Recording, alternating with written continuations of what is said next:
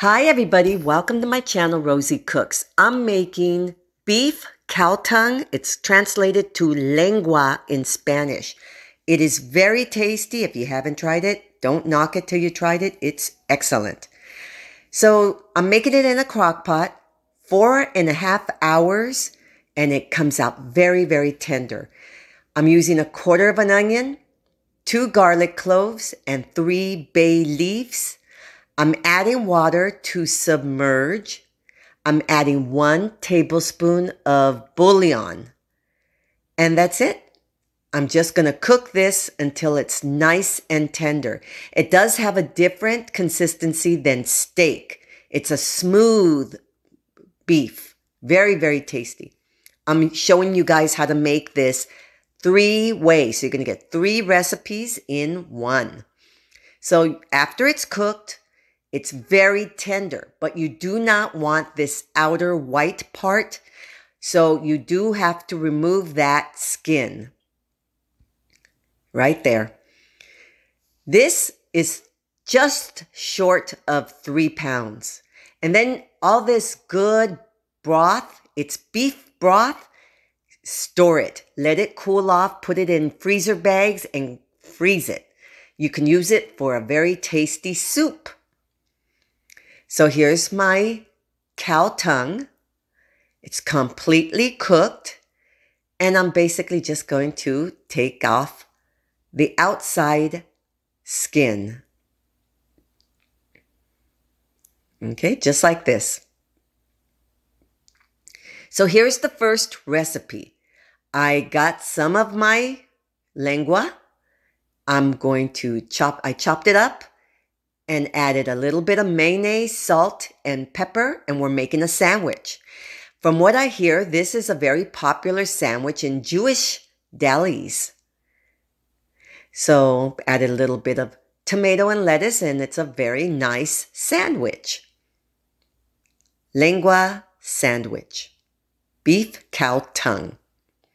Next, I'm going to make a nice salsa to make some lengua tacos. I have one avocado. I'm adding a little bit of jalapeno, onion, cilantro, and tomato. This is a salsa verde. You can use any brand. This can has seven ounces. So I'm going to add a little bit of salt and pepper and a little bit of lime juice and pulse it all together.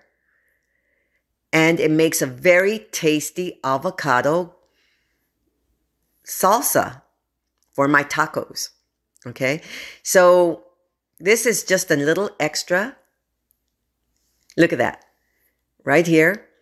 A couple of corn tortillas and chopped lengua and my nice green salsa. And this was very tasty. So these are lengua tacos with a green avocado sauce. So that's my second recipe. Yummy. That was good.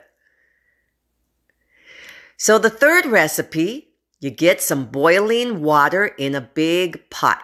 Huh, not so big pot. I'm going to add half an onion. I have a tomato that's very big. Look at that. That's a really big tomato. And I added my garlic. I also added a tomatillo, which happened to be very big compared to other tomatillos. So that's going to be my salsa. I boiled it until it was very soft. Then I add it to my blender. A half a cup of water, a little bit of cilantro, and some seasonings. This is one teaspoon increments, salt, pepper, oregano, chicken bouillon, and cumin. One teaspoon each. And that's my sauce for the third recipe. So I have a big pan one tablespoon of canola oil. I'm adding the rest of my lengua, the beef cow tongue. And I'm cooking that up for a couple of minutes. And then I'm going to add my salsa. And I did not add all the salsa that I made because I made a lot of it. And again, you can put it in freezer bags and store it. It goes great on chicken. You can put it on eggs. Save Save it for another time. This came out very tasty, very flavorful. Look at that sauce. It was very good. So with this, I just made some flour tortillas. And I made some burritos. I just ate it with flour tortillas. This was really good. So right here, I'm showing on a plate. I just grabbed a flour tortilla, a piece of flour tortilla, and I just ate it like that. Very, very tasty. So I showed you three ways to make beef cow tongue. It's a very flavorful meat. It's very tasty. It doesn't taste like steak or carne asada. It's smoother. It's just like tender, very, very tender, but you have to cook it a long time.